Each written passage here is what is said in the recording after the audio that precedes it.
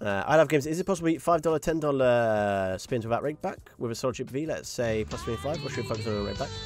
And Defrau just subscribed. Well, Jonas gifted another. So, thank you very much, Mr. Jonas. That's very nice of you. Um, should we just pot this against recreational or what? I'm going to go slightly bigger because I'm just going to go like this. There's a lot that will call here. So a lot of opponents will see like a jack six of spades and just think, oh, I've got a gut shot, I'm going to call. Or two overs and think, oh, I'm going to call. And if he does end up tank folding with like a, let's say a, a jack 10, it's not the end of the world. Like we have pretty marginal equity against a lot of those those uh, elastic combos, and he's never folding an 8, he's never folding 7, never folding 7 5, anything like that. So I think sizing up there and just shoving turn makes sense.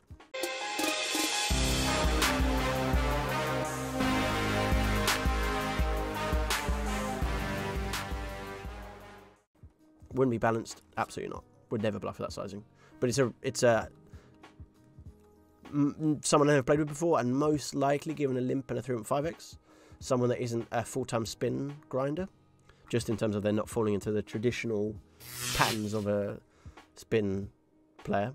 It is probably possible to have a limp and a 3.5x and be, you know, have that solved, but um, yeah.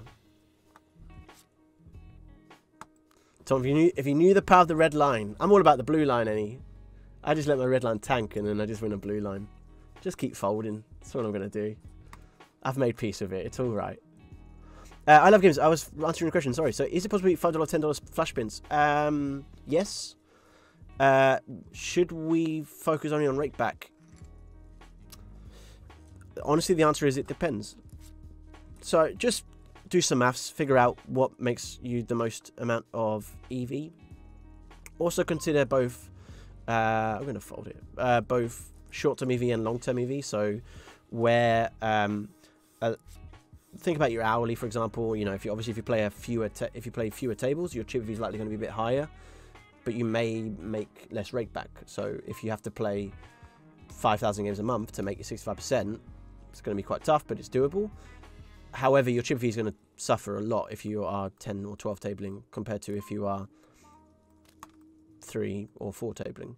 Um, and so I would also encourage you just to pursue what you enjoy. So if you really enjoy playing a low table count and keeping your the decision quality as high as possible, I would say just go for that. If you enjoy the challenge of playing lots of tables and you you have a uh, let's say good endurance, then take that approach, no problem at all. Um, but but there's no one size fits all answer. I'm afraid I can't I can't give you that. If you force me to pick one, I would say get as high chip with you as possible because I think most people find poker more fun when they win at a higher rate, uh, and therefore there's less burnout and and less um, invisible volume killers, which are harder to plan for.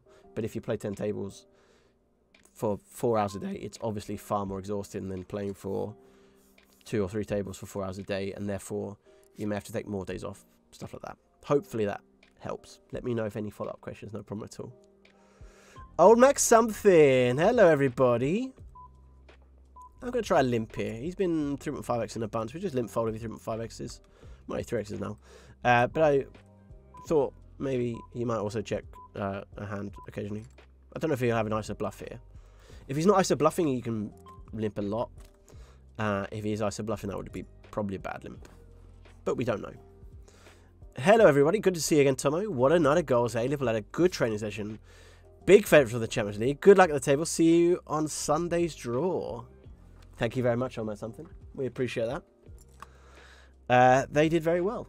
We're very happy. A little bit worried about the Firmino injury, but was a very relaxing game to watch, which is always nice because game was pretty much over after half an hour, and then they just said it was a bit like playing Man United, just like, should we go get more goals? Nah, just whatever.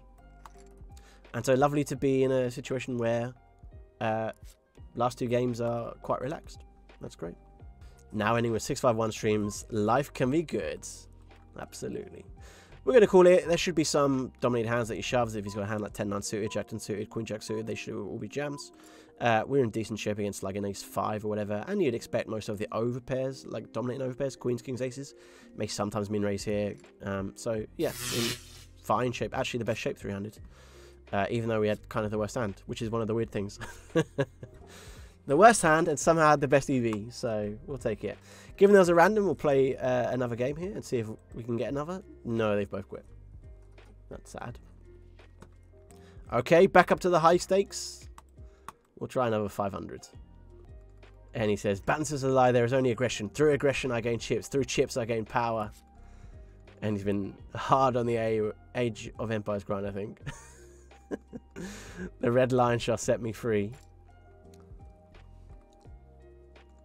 Very true indeed. Very true. I I like your fundamentalism though towards it. I work with many a player that have the same similar approaches. Well, I could call, I could fold here, and I think it's probably plus you fold, but my red line would suffer, so I think I've just got a call. And you're like, oh, okay. I've got to zoom past all these spinning heads as we call the a6, and we win the flip. Any making a five width pyramid. Congratulations. Nice, nice, nice. We go again. Did we win that for hundreds? Do do rats do razva says, "What's the normal chip EV for 25s and stars? Do you mean in reg speeds or in flash games? In reg speeds, I would say what's achievable at 25s. You could definitely achieve 60 plus. I would say probably what's more normal would be like high 40s, low 50s, something like that would probably be considered normal. It may be different these days. I've been off. I haven't played 25s for a long time, so um, the games may have got a lot of in which case drag all those numbers down a little bit. If you're talking about flash games or um, then uh, high teens most likely. So probably like 16, 17, 18, something like that would be achievable. Uh, we're going to check race one. I like that we don't have a backdoor diamond, spade, or club. That's good for a hand in terms of gives him more backdoors to bet call with. So we should, in theory, see fewer folds when we have queen four of hearts than if we had queen four of spades. Because if we have queen four of spades, he can't have queen ten of spades. But when we have queen four of hearts, he could have queen ten of hearts, queen ten of spades. Is that making sense? I hope so. Uh, king five off for ten bigs. We're just going to jam this, I think.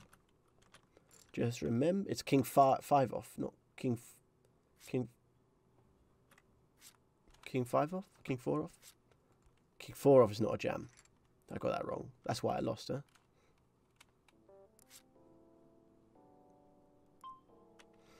We're going to call ace 5 though.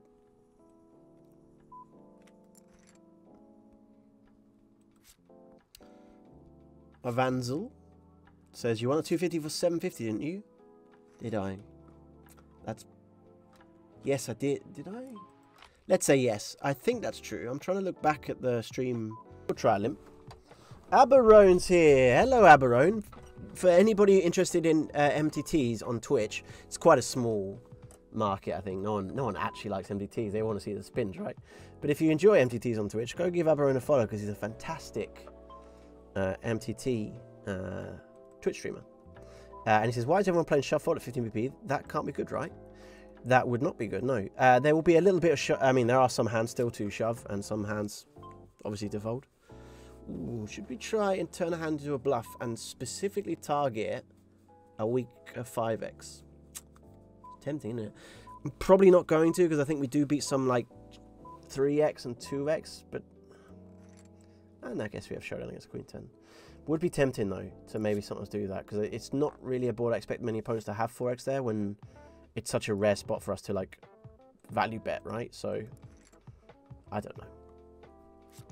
How are you doing, Aberon? Nice to see you, mate. How are things treating you? How is the how is the how are the MTTs treating you? Can you tell funny joke, please, streamer? Um. Well, my friends uh, laughed at me when I uh, first said I might be telling jokes on Twitch. They ain't laughing now. No? Okay. Uh, let's get another joke then. Um,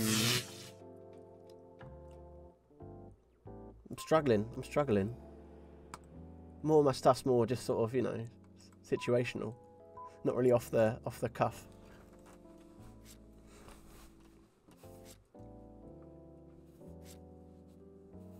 We win with King Jack.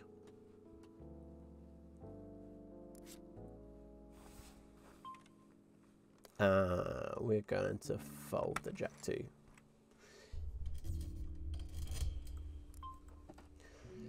So we're going to raise. We'll be folding versus a. Ah, I don't know if this is great. I mean, that's probably fine. It's interesting. Uh, Obelisk, thank you very much for the follow. Alright, well, it worked out pretty perfect for us.